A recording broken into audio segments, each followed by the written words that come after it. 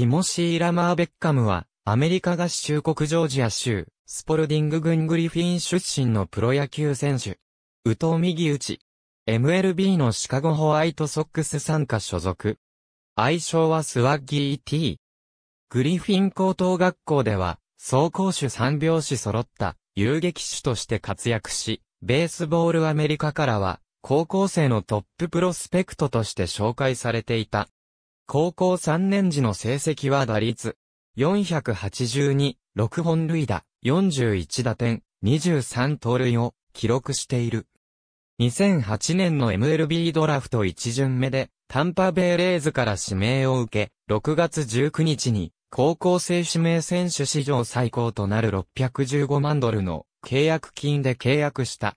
1年目は主に参加のアパラチアンリーグのルーキー級、プリンストンレーズで46試合に出場して打率297、2本塁打、14打点、5盗塁を記録した。8月に A-9 ハドソンバレーレネゲーズへ昇格し、2試合に出場した。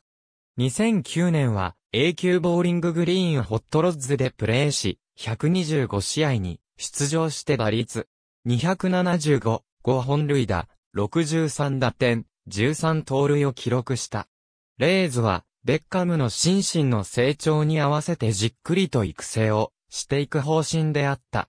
2010年は A 級、シャーロットストーンクラブズでプレーし、123試合に出場して打率256、5本塁打、57打点、22盗塁を記録した。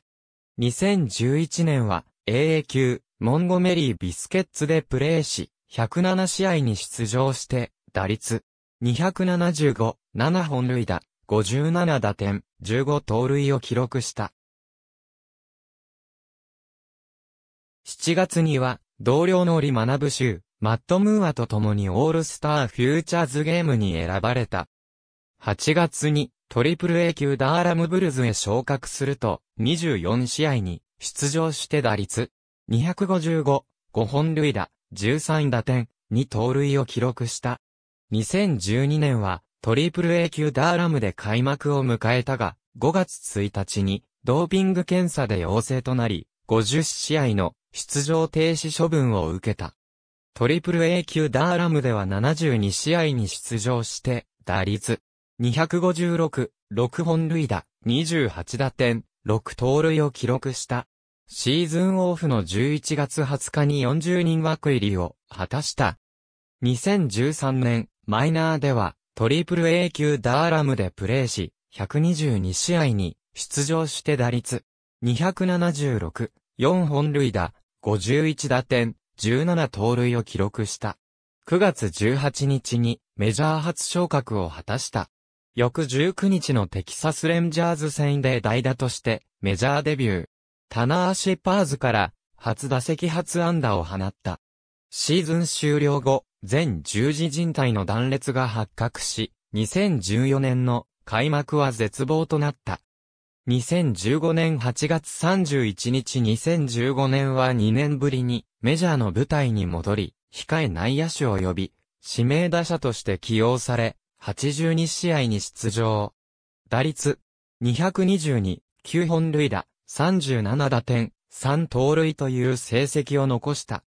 守備面では二塁手を38試合、遊撃手を28試合で守ったほか、1試合だけ三塁手も守った。2016年も前年と同様の役割を担い、64試合に出場。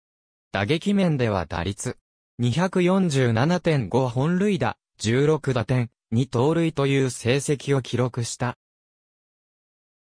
二塁の守備は19試合で無失策だった。また、遊撃手では4失策を喫して、守備率958だった。さらに三塁手、一塁手を守ることもあった。ボルチモア・オリオールズ時代2017年7月31日に、トビアス・マイヤーズとのトレードで、ボルチモア・オリオールズへ移籍した。2018年のシーズンに先立って、オリオールズは三塁手のマニー・マチャドを遊撃手にコンバートさせ、ベッカムを三塁手にコンバートさせることを発表した。4月25日に左鼠径部痛により故障者リスト入りとなり、5月13日に60日間の故障者リストへ移動となった。オフの11月30日にノンテンダー FA となった。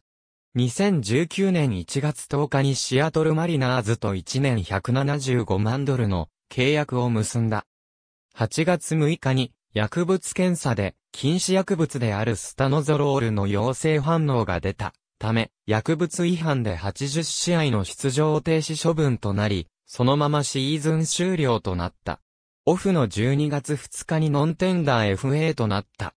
2020年2月12日にサンディエゴパドレスとマイナー契約を結んだと発表されたが、翌日に契約が取り消された。この年は、どの球団にも所属しなかったが、オフの10月29日に、シカゴホワイトソックスとマイナー契約を結んだ。高い運動能力と野球センスを合わせ持つ、スター遊撃手の卵と評されていた。60ヤード6.35秒の脚力、ベンチプレス127キロの筋力を持つ。ありがとうございます。